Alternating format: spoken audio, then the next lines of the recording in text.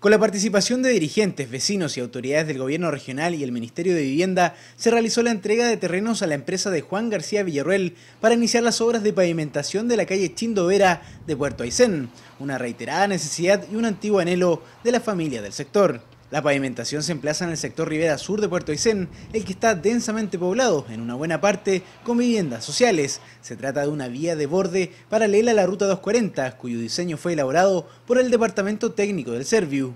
El proyecto es financiado con recursos del Fondo Nacional de Desarrollo Regional con una inversión que alcanza los 458 millones de pesos y además de la pavimentación de calzada y acera, considera la colocación de drenes, soleras, colector de aguas lluvias y sumideros, emparejamiento de veredón, instalación de señalética y 170 árboles nativos. Jovita Andrade, presidenta de la Junta Vecinos número 10 General Marchán de la Ribera Sur, agradeció el proyecto que era muy esperado por toda la comunidad. Nosotros hemos esperado muchos años, yo creo que este, esta calle ha sido como 35, 36 años de que se está esperando la pavimentación, porque estas son calles prácticamente que están de años, de años acá. Entonces yo creo que nosotros como de Rivera Sur es un orgullo que ojalá siga pavimentando el resto de las calles que faltan. Se vería mejor nuestra Rivera Sur. El consejero regional Sergio Maldonado destacó la voluntad del Ejecutivo Regional y el positivo impacto que estas obras están teniendo en la comuna. Sin lugar a dudas, un proyecto más que ha aprobado el Consejo Regional con su intendente, la señora Pilar Cueva.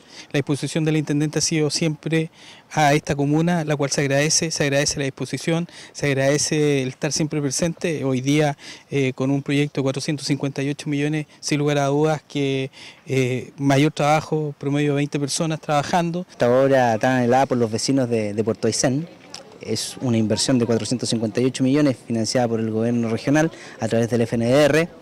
Eh, se dividió en dos etapas, ya la pavimentación, desde Calstrom hasta prácticamente la costanera, dos etapas que una de 199 millones y la otra de 259 millones. El objetivo de estas dos etapas es sin duda minimizar los plazos, Recordemos que son 150 días para terminar esta obra y a su vez también para generar mano de obra en, la ciudad de Puerto Aysén. Sabemos que es un sentir de los vecinos, por lo tanto el hecho de tener dos etapas nos genera automáticamente más mano de obra. Sabemos que el PIC va a ser 25, 27 personas aproximadamente en, estos cinco meses.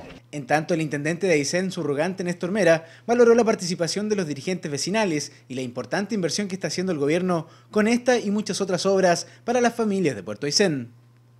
Como gobierno regional y como gobierno nacional, obviamente nos interesa mucho poder, eh, como lo planteaba, descentralizar lo que son las inversiones.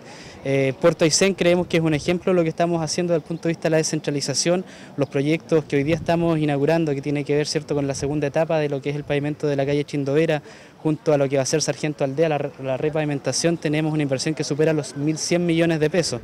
Adicional a eso, el polideportivo, lo que va a ser el hospital de Puerto Aysén, temas que son muy anhelados por la comunidad.